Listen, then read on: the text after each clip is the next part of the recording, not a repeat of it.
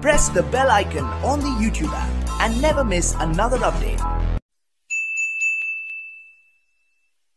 Hi students, welcome to Yash Academy Karad. In this video, we will study the one of the most uh, name reaction of phenol that is Rimmer-Timon reaction. This reaction is used for the preparation of salicylaldehyde from phenol.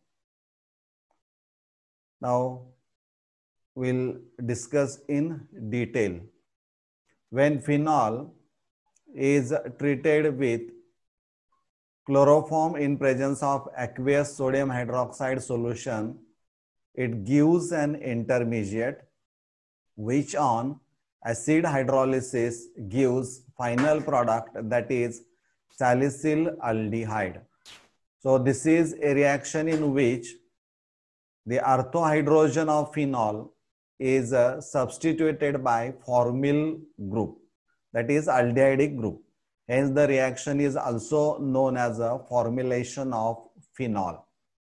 आता या reaction मध्ये आपण बघूया की this is chloroform when it reacts with sodium hydroxide it gives this H combines with OH to form water molecule Na combines with Cl to form NaCl and what is left behind CCl2 this CCl2 is nothing but dichlorocarbene and this is the main attacking reagent in Rimmer-Timon uh, reaction. Now, there is no any formal charge on this carbon atom. If you count the number of carbon, number of electrons around this carbon, two four and six. It is electron deficient त्यामुळं electrophile म्हटलं की त्यावर charge positive असायला पाहिजे. असं वाटतं पण तसं गरज नाही. It acts as an electrophile there are six electrons and there is no any formal charge म्हणजे पॉझिटिव्ह चार्ज त्याच्यावर तुम्हाला दिसत नाही even though it acts as an electrophile आता या रिॲक्शनमध्ये काय होतं ते आपण डिटेलमध्ये बघूया. This reaction is known as a formulation of phenol C H O group is introduced on benzene ring of phenol at ortho position this is phenol when treated with chloroform in presence of aqueous sodium hydroxide solution you know that phenol reacts with sodium hydroxide to form sodium phenoxide, which is soluble in aqueous medium. And this Na combines with Cl to form NaCl and OH combines with H to form water molecule. म्हणजे या पद्धतीनं ती reaction घडते आणि तिथं इलेक्ट्रोफाईल डायक्लोरोकार्बिन हा आपल्याला इथं मिळतो क्लोरोफॉर्म या पद्धतीनं रिप्रेझेंट केला आपल्या माहितीसाठी म्हणून C H C L three त्याऐवजी एच सी एल आणि सी सी एल टू अशा पद्धतीनं लिहिलेला आहे. नाव इट गिव्ज अन इंटरमिजिएट तो कसा असेल पहा इथं तयार झालेला हा dichlorocarbene gets attach to ortho position in phenol आणि हे स्ट्रक्चर आपल्याला मिळेल. C H C L two C H C L two तयार होईल नाव this intermediate reacts with sodium hydroxide to form a diol. इथं काय होतं तर this two C L atoms get replaced by two OH.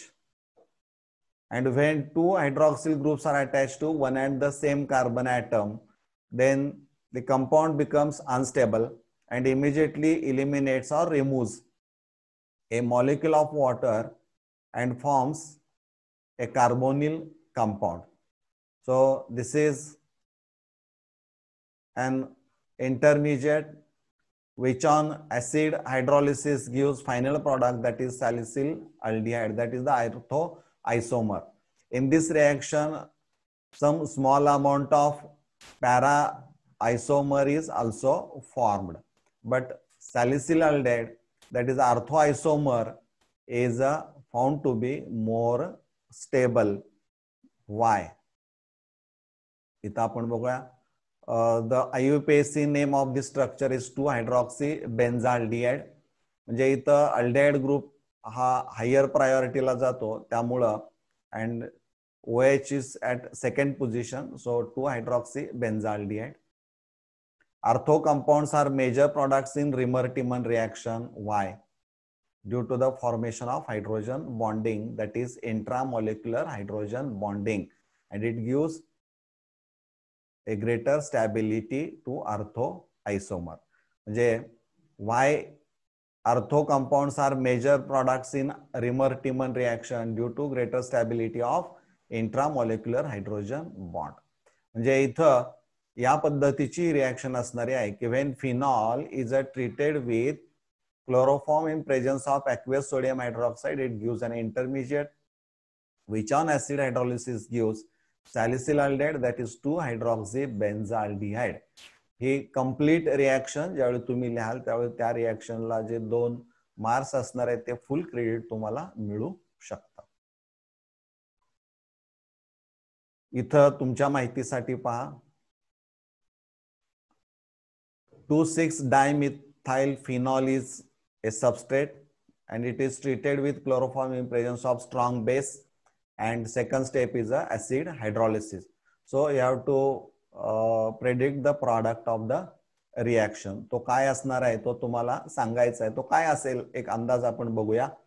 आता आपण जी रिॲक्शन पाहिली त्यामध्ये तुमच्या लक्षात आलं की C H C L three पासून डायक्लोरोकार्बिन मिळतो. It gets attach to ortho position of benzene in phenol पण इथं already two ortho positions are occupied by two methyl groups त्यामुळं पॅरा पोझिशन इज अवेलेबल त्यामुळं पॅराला तो अटॅक करतो आणि तिथं अल्डेड ग्रुप इन्सर्ट होतो. या पद्धतीची ही रिॲक्शन आहे की ज्यामध्ये आपल्याला हा प्रॉडक्ट मिळतो की aldehyde or formyl group is at para position of name structure is four is 4-hydroxy 3,5-dimethyl benzaldehyde म्हणजे इथं एक नंबर दोन तीन चार पाच सहा.